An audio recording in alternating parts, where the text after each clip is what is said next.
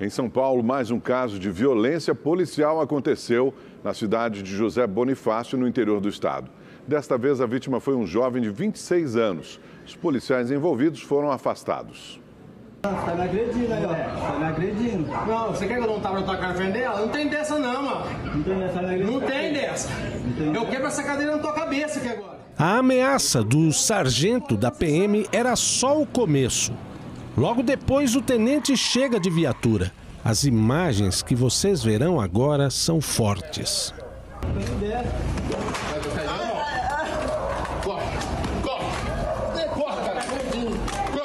O jovem era acusado de ter roubado uma propriedade rural. Na delegacia, ele negou o crime e foi liberado.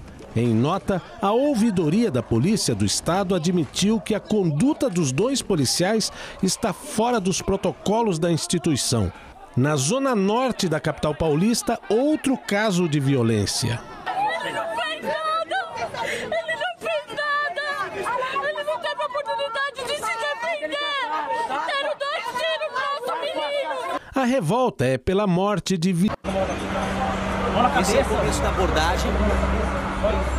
Flagrante ali, o motoboy levou uma cotovelada durante a abordagem policial em Osasco, na Grande São Paulo. O motociclista está sendo revistado, ele desce da moto, um dos policiais tira o capacete dele, enquanto o outro começa a chutar a perna do homem, que está com as mãos para trás e não demonstra reação.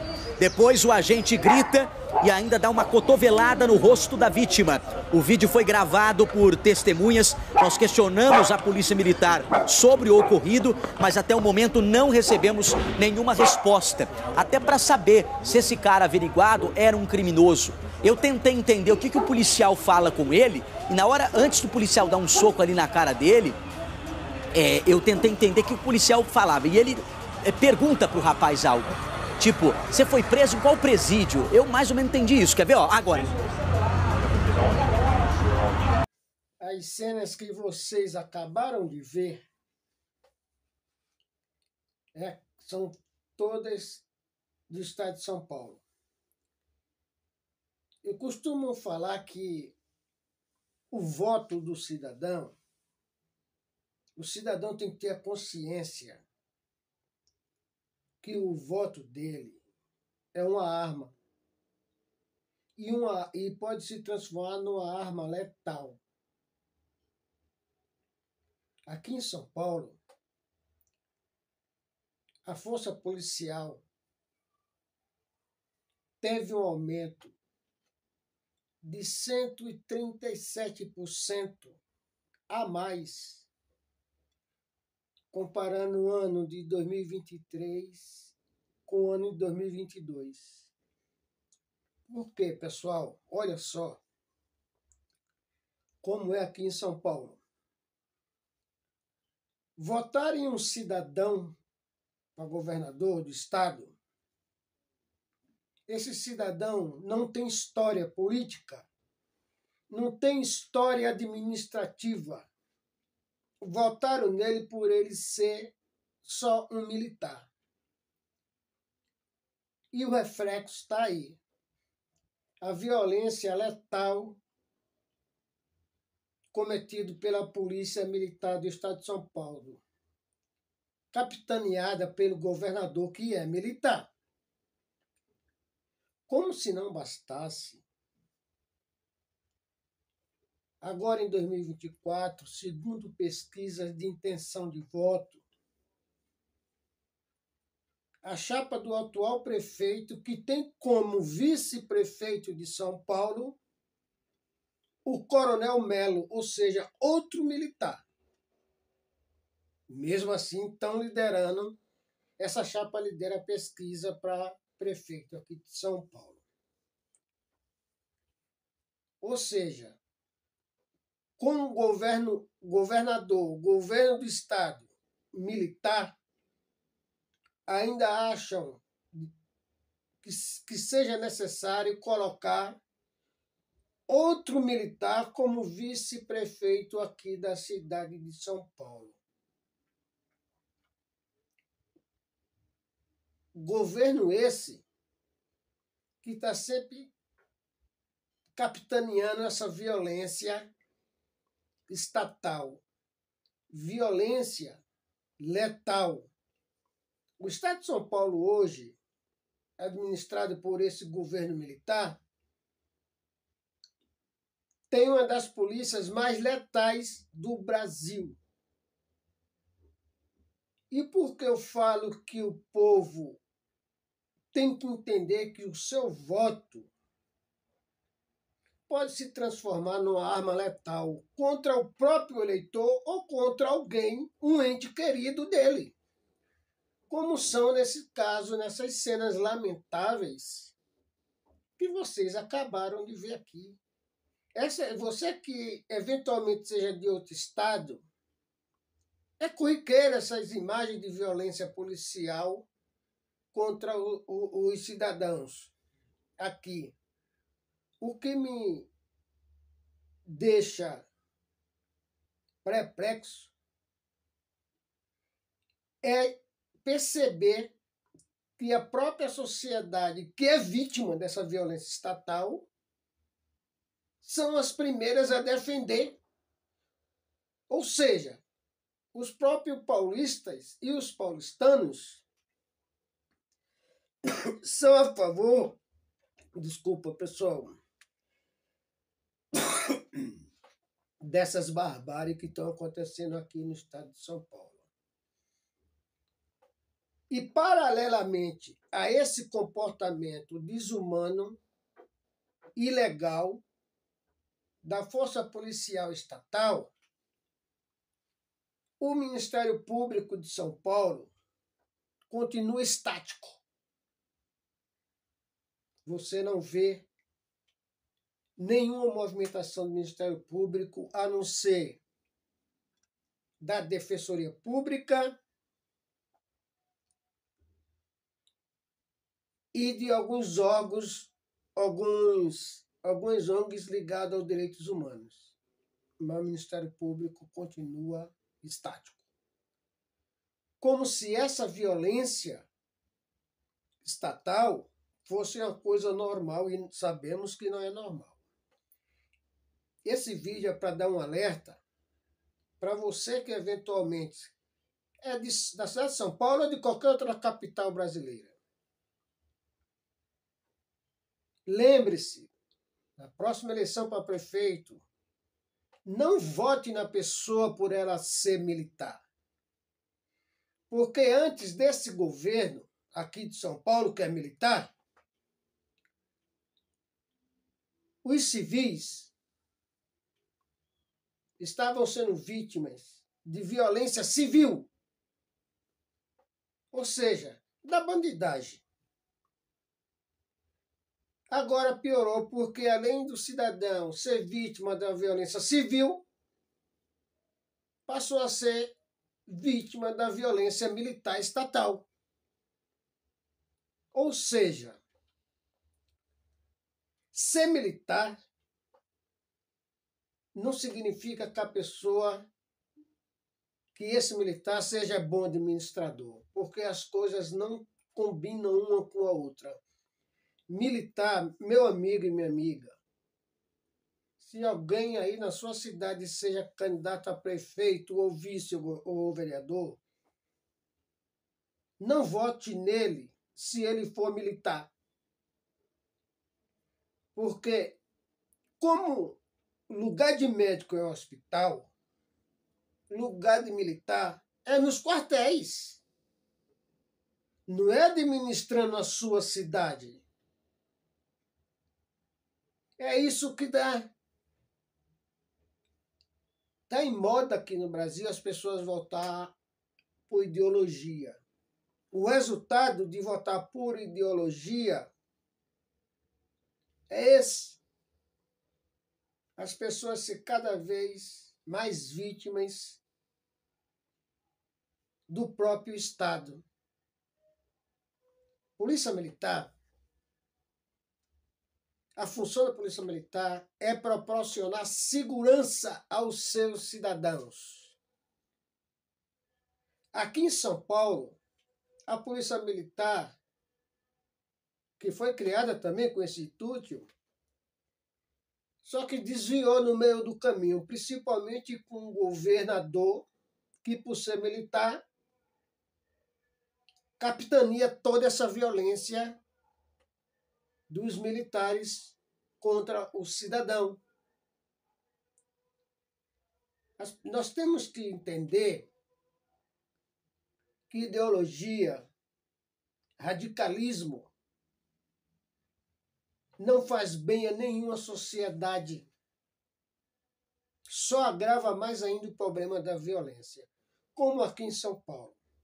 Esse vídeo é para um alerta para os paulistanos que, segundo pesquisa, estão colocando o Coronel Melo o mais indicado para ganhar a eleição para prefeito aqui de São Paulo. Ou seja,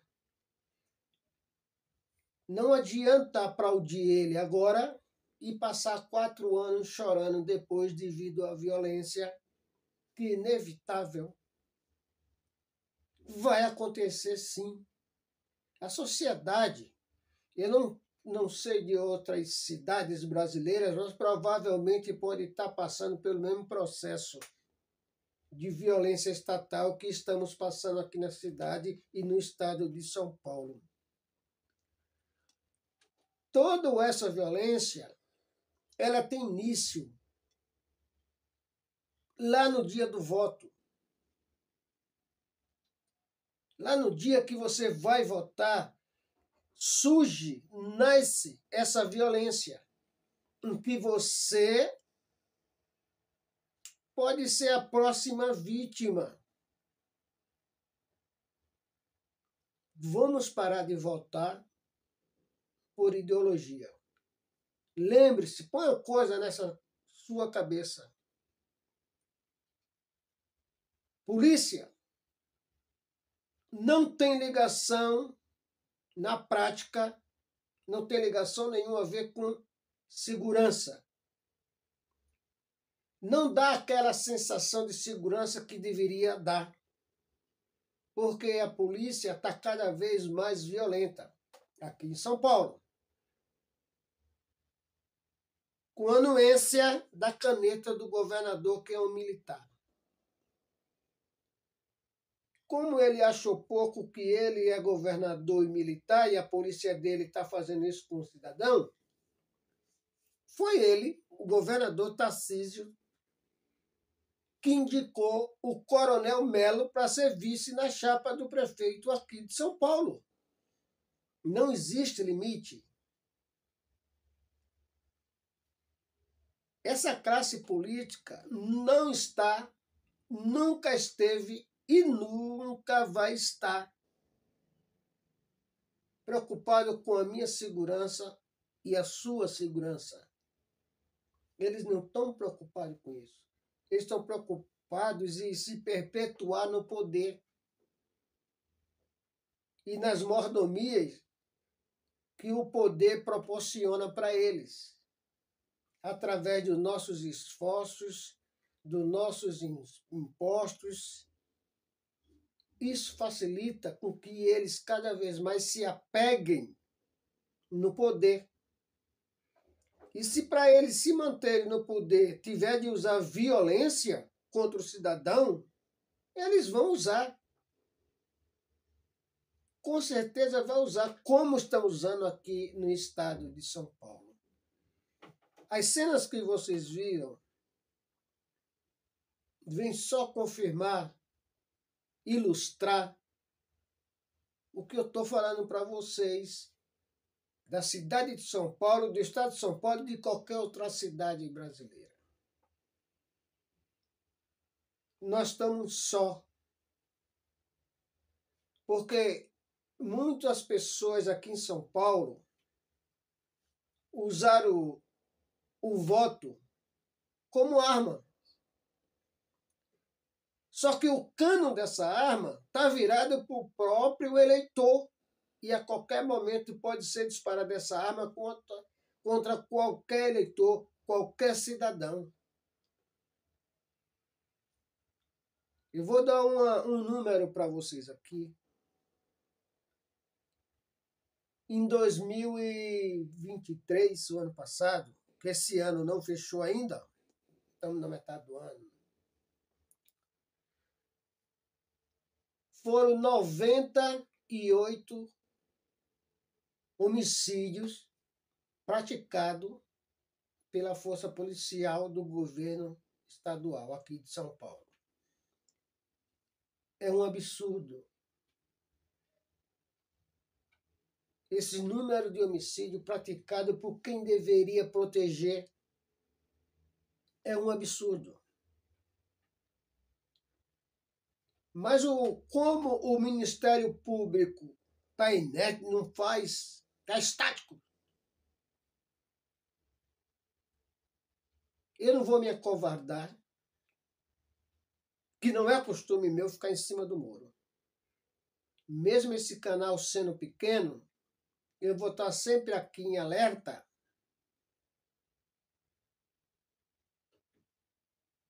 para divulgar essas violências estatais que o cidadão são vítimas diariamente.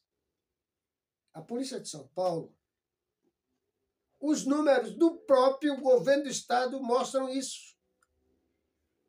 Meu amigo, a Polícia de São Paulo mata em média, desde 2023, quando esse governo militar assumiu, mata em média duas pessoas por dia. Para alguns pode ser pouco, para mim é um absurdo. O Estado, através da sua força policial, matar em média duas pessoas por dia. O nosso país não está em guerra. O nosso país não foi invadido por outro país. Existe uma guerra, sim, interna, que é a guerra do povo, do cidadão, para se defender. Muitas vezes impossível praticar essa defesa, porque a, a nossa defesa é contra o ataque do Estado. Então, é muito difícil a gente conseguir armas para se, se defender dessa violência que somos vítimas diariamente. Quando somos vítima de um crime, de um civil, é tudo mais fácil, porque chamamos, fazemos o BO, a polícia vem e prende. Quando prende, diga-se de passagem. Mas e quando nós somos vítima do próprio Estado, como é aqui em São Paulo? Para quem recorrer? a não ser para o Ministério Público e torcer que a OAB, através da sua Comissão de Direitos Humanos, intervenha e torcer para que a Defensoria Pública também possa vir intervir em nosso favor. Então fica aqui o meu alerta. Lembre-se, não é aconselho, que eu não estou aqui para dar conselho a ninguém. Aprenda, você que é de outra cidade do Brasil, aprenda com o erro dos paulistanos, para não cometer o mesmo erro aí na sua cidade. Não vote em candidato militar que ostenta é coronel, é capitão não sei o quê, é tenente não sei o quê. Essas pessoas não são dignas do seu voto, porque essas pessoas não vão respeitar os seus direitos, principalmente, como está provado, não vão respeitar nem a sua vida. Isso aqui foi um alerta que eu estou dando aqui para vocês e também mostrando para vocês a sua situação atual que vivemos aqui na cidade.